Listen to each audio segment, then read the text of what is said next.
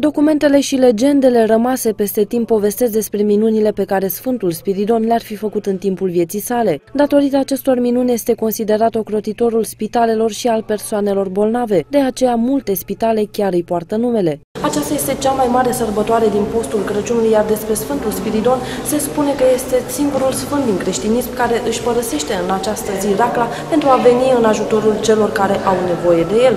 De aceea, în această zi, foarte mulți creștini vin la biserică pentru a se ruga de sănătatea familiei și bunăstare. Sfântul Spiridon este și patronul cizmarilor, cojocarilor și olarilor, care îl cinstesc prin petreceri și voie bună. În ziua praznicului bătrânii amintesc tinerilor cât de importantă este această sărbătoare pentru fiecare credincios. Ei se roagă și îi cer Sfântului ca din gospodăria respectivă Sfântul Spiridon să alunge boala, iar femeile gravide să nu dea naștere unor copii cu malformații. Despre Sfântul Spiridon se mai spune că este singurul sfânt călător care își părăsește mormântul pentru a veni în ajutorul oamenilor care îl cheamă prin rugăciuni. Moaștele lui au fost mai întâi duse în Trimitunda, apoi la Constantinopol, ulterior au peregrinat în uh, Serbia, iar astăzi ele se află în insula Corfu, din Grecia.